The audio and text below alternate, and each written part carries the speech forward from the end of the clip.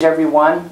I'm Larry Williams, the director of the Consortium for the Advancement of Research Methods and Analysis, or CARMA, uh, and we're coming at you today from my new office in the College of Business Administration at the University of Nebraska-Lincoln. And it's my uh, great pleasure to welcome back to CARMA uh, the many-time CARMA contributor, CARMA drummer, and a dear friend, uh, Dr. Herman Aguinis from George Washington University, who's here uh, to give a webcast uh, in an hour or so. Welcome back to CARMA, Ermin. Thank you, Larry. Delighted to be here. So, um, Herman, in the, uh, the conversation that we had at dinner last night, we were reflecting uh, on our lives as doctoral students and uh, I know that you've had a lot of work with doctoral students, uh, successful work with doctoral students, and you work closely with doctoral students. Um, how is it that their world is different than the world that you and I faced uh, as a doctoral student uh, 20 or more years ago? I would say uh, we're not in Kansas anymore.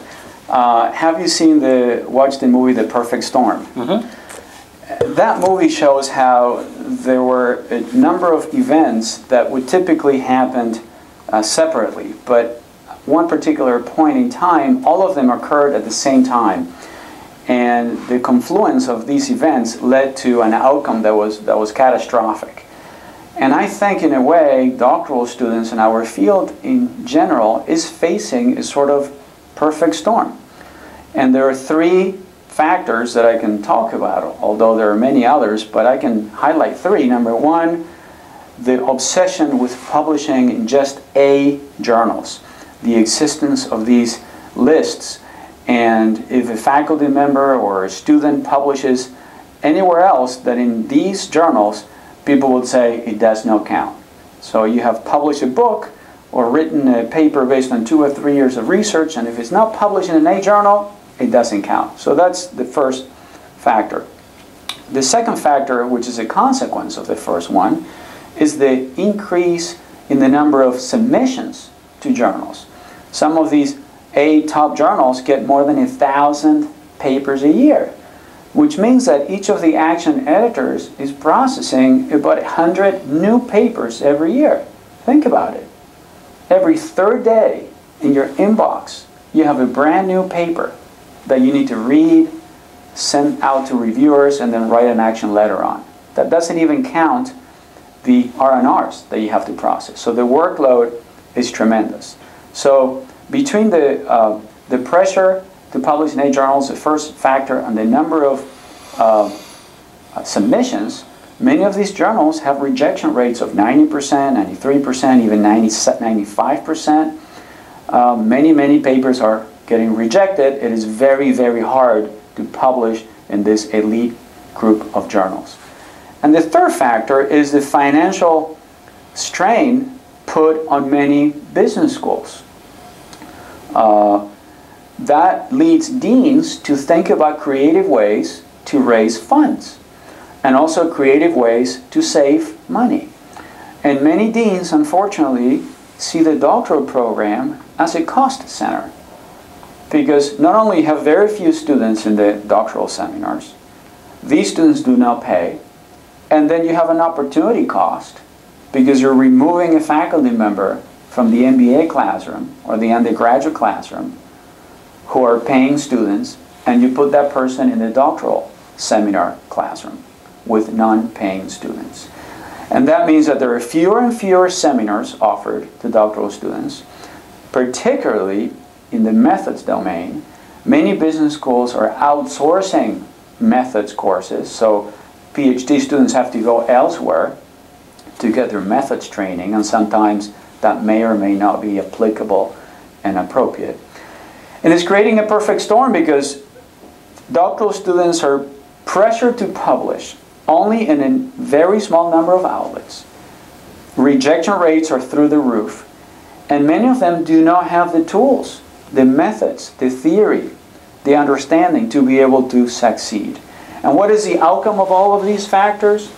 People are trying to publish in these top journals by all means necessary, which means that, as Larry said one time, you may torture the data until they confess.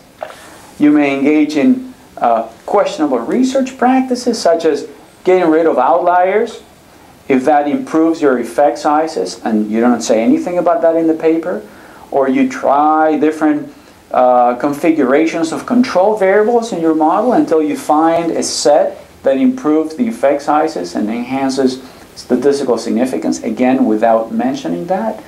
People engage in harking, which is hypothesizing after results are known, which means you don't find the results you expected, but you go on a fishing expedition, you find something, and then retroactively create a hypothesis to justify those findings, and many, many other practices that lead to a, a true credibility crisis in the field. Because if you try to replicate or reproduce some of those studies, it is almost impossible uh, to do because so many decisions and choices have been made that remain non-transparent and obscure to the reader. That's great. Those, very insightful comments. I'm glad you brought up the publication process um, because we spend a lot of time uh, hanging out with different groups of people. Uh, Herman was actually back here last weekend participating in the Society for Organizational Behavior meeting that I hosted of substantive researchers kind of talking about the problems going on in the review process. We spend a lot of time hanging out with methods people who have their view uh, on issues that are troubling them.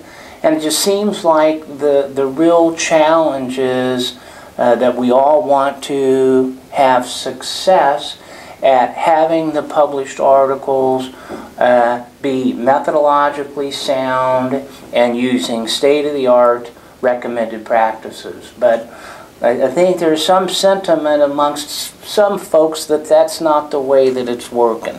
So from your vantage point, do you have a particular view on these issues that you'd like to share?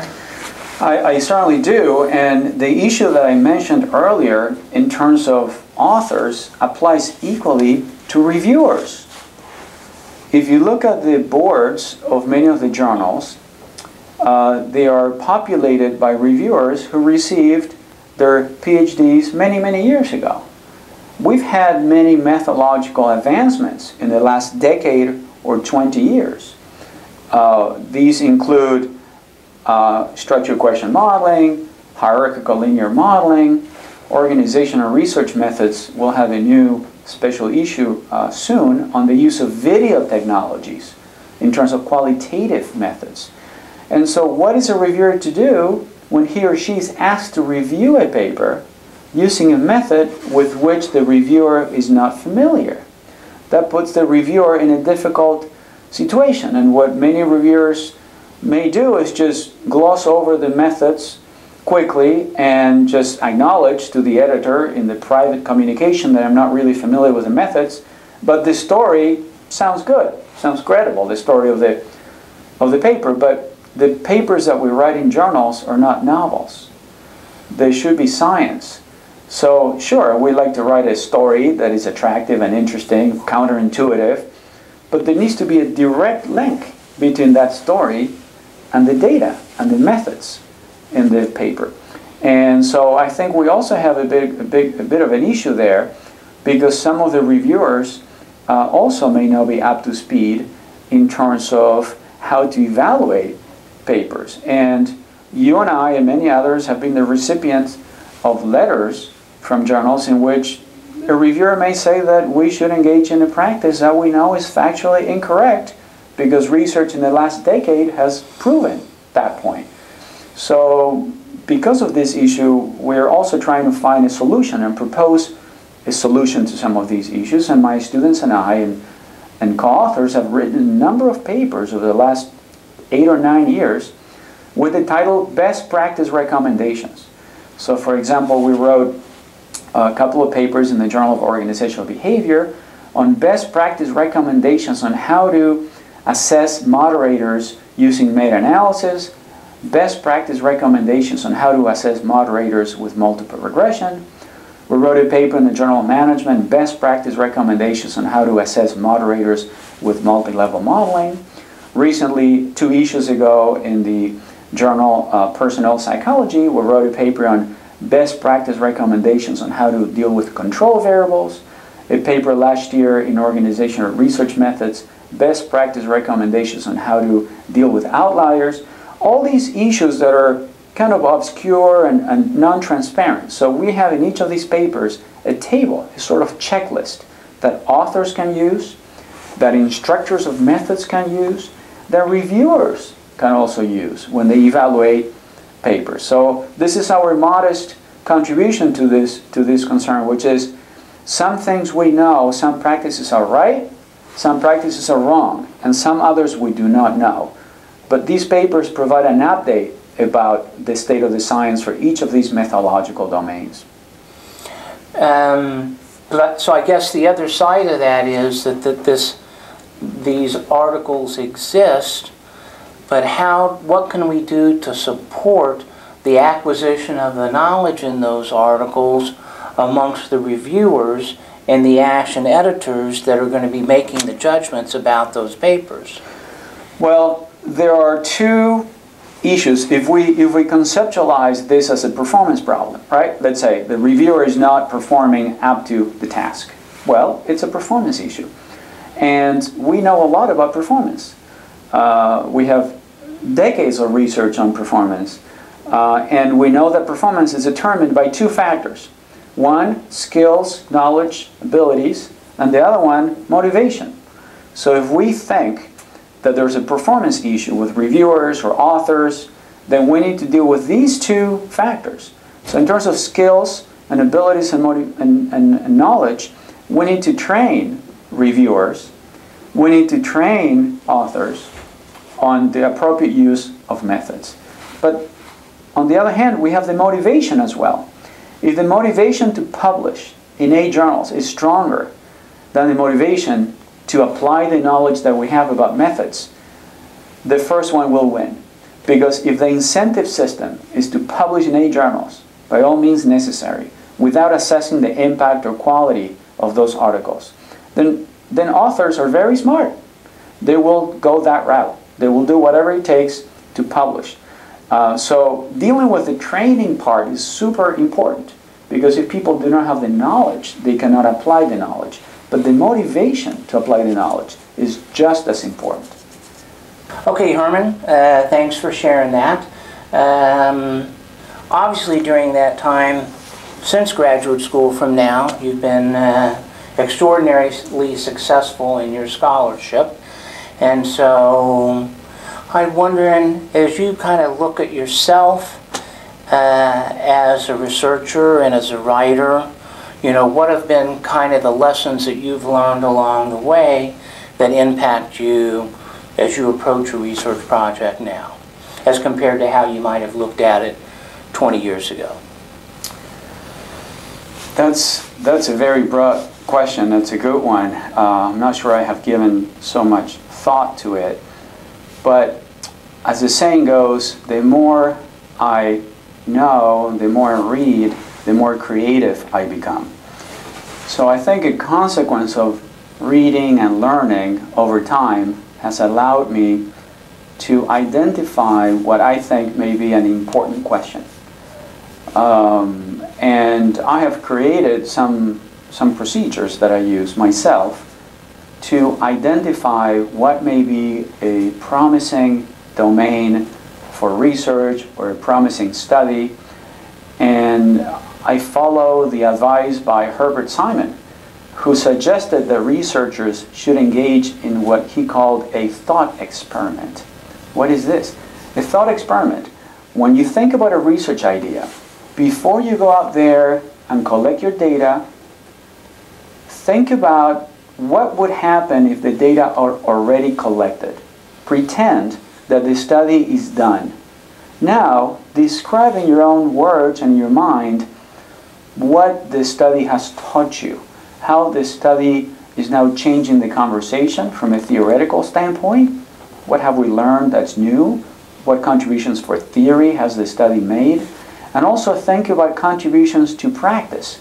How is your study changing how organizations manage individuals or how interventions should be redesigned based on the new knowledge. So I actually do this thought experiment, maybe not, not explicitly, but I do think a lot about um, what the study will lead to in terms of its contribution way before I go ahead and decide to collect the data. I think that that idea of, of doing research with impact is something that I gained after many years of conducting research. I wasn't thinking that way when I was getting started. I would just go study after study and without really putting a lot of thought into the big picture of what kind of impact this is going to have. Okay, uh, I think it's time for us to head down to the webcast room. Uh, Herman, I'm very excited for your talk. Thanks so much for giving of your time and coming back to Lincoln, Nebraska two weekends in a row to present at CARMA. Delighted to be here. Thank you very much. All right.